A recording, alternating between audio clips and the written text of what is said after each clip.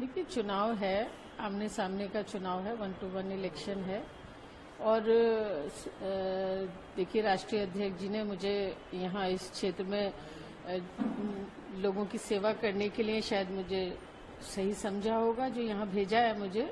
और ये भी कहना चाहती हूँ कि मैं जित, सभी लोगों से, हर धर्म के लोगों से कि निराशा उन्हें नहीं मिलेगी, ऐसा मैं पूरा प्रयास करूँगी और भगवान से ऊपर वाले से भी ये प्रार्थना करूँगी कि मैं खरी उतरूं और जो उन्होंने मुझ पर भरोसा किया है, वो भरोसे पे मैं अपने आप को साबित कर सकूँ।